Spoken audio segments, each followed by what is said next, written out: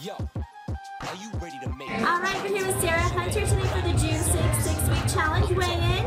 Sarah, walk over to the scale. Let's see what you're starting off with.